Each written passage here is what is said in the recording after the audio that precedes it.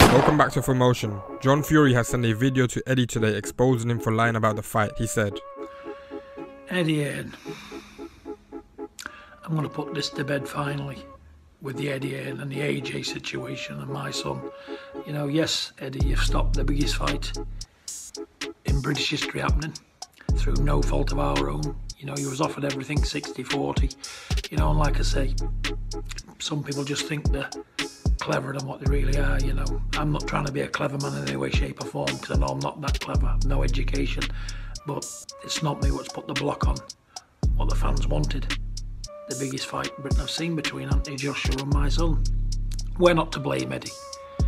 You've did you did all of this on your own doing, mate. But listen, what can you say? We won't mention it no more.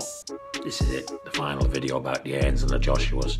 We'll not be concerned ourselves with this anymore because it's out the window now. It's a fight that never happened. Yep. And who prevented it? Eddie Hearn. Enough said, eh? Peace out. Now both sides have had their own say and both sides did bring up the valid points, but for now I think what is confirmed is that the fight will not go ahead for December. It seemed like both fighters agreed with everything and negotiations were smooth, and we did get told that the last issue was commercial agreements, but let me know what you guys think. Will we ever see this fight and who would win? Comment below and also please remember to like and subscribe for more updates. Until next time,